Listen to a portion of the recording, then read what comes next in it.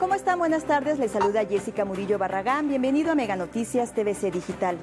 Durante el 2016 se registraron 23.953 homicidios en México, lo que se traduce en 20 asesinatos por cada 100.000 habitantes a nivel nacional, informó el INEGI. Y la bancada del PRI y PAN solicitaron a la PGR que investigue los presuntos nexos del delegado de Tláhuac, Rigoberto Salgado Vázquez, con el Ojos, líder del cártel de Tláhuac.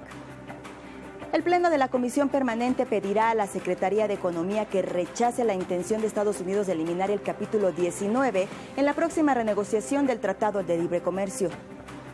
El presidente de Estados Unidos, Donald Trump, anunció que las personas transgénero no podrán servir dentro de las Fuerzas Armadas estadounidenses.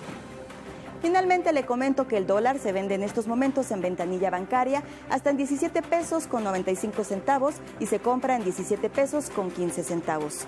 Usted está informado y recuerde que esta noche tiene una cita con nosotros para conocer la historia del mundo. ¿Dónde? Aquí en Mega Noticias TVC y en sus distintas plataformas.